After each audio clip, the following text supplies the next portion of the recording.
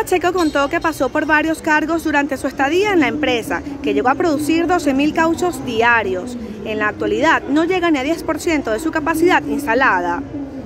Nosotros con las utilidades que generamos en el, eh, en el curso del año en la empresa, mira, nosotros nuestras utilidades nos alcanzaba para, para vestir a los muchachos, vestir nuestras esposas, pintar nuestras casas, eh, eh, comprarles la ropa, eh, este, compartir en familia los, fines de año, cosa que lamentablemente hoy en día todo eso se perdió, pues, todo eso se, murió gracias, gracias a